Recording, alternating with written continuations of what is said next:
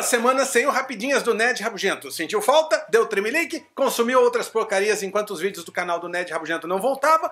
Ok, agora tá tudo bem, pode ficar tranquilo. O melhor canal de informação do universo Ned está de volta.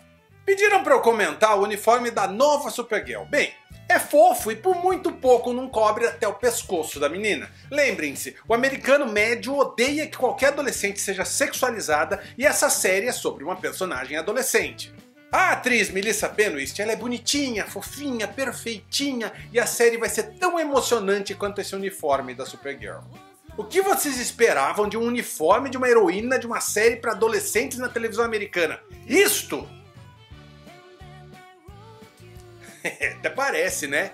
Esse filme do Esquadrão Suicida tem tudo para ser uma bomba. O diretor é o David Ayer, que fez um dos piores filmes de 2014, Fury, Corações de Aço, o filminho horrível.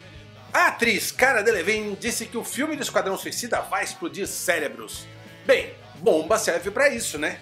E o Jared Leto garantiu que o Coringa dele vai ser melhor do que o do Jack Nicholson e do Heath Ledger. Não vai ser uma cópia, vai ser muito mais divertido. Eu acho que o filme do Esquadrão Suicida vai ser muito, muito, muito ruim. Eu torço para que não seja, mas eu espero pior. O diretor Neil Blomkamp surgiu como um aprendiz do Peter Jackson. Ele começou com 90% no Rotten Tomatoes, com Distrito 9, caiu para 68% com Elysium e agora está com 30% com o tal Chap, o robozinho lá. O Rotten Tomatoes é um site que analisa filmes. Se você não conhece ainda, conheça. Agora o Blomkamp ganhou a oportunidade de dirigir um filme da série Alien. E ele já sugeriu que o filme pode ser dividido em duas partes. Money Talks, money, money, money, money, money, vamos ganhar dinheiro.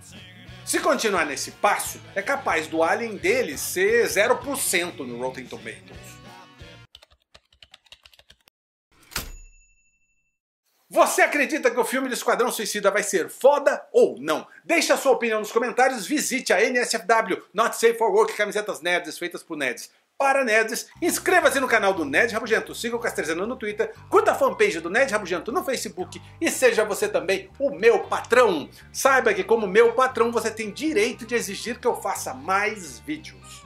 Ajude a espalhar os vídeos do Ned Rabugento e vamos dominar esse mercado de cultura pop brasileiro que é água com açúcar. Vamos chacoalhar um pouquinho as coisas. Tá tudo muito mono, credo. Gente com opinião comprada e um monte de gente que parece que não sabe do que tá falando. Somos todos rabugentos. Big Hero 6 já é a sexta maior bilheteria de todos os tempos ever da Disney, só perde para Frozen e Rei Leão. Jeremy Renner já está confirmado em Capitão América Guerra Civil, ou seja, não vai ser dessa vez ainda que nos livraremos do inútil do Gavião Arqueiro.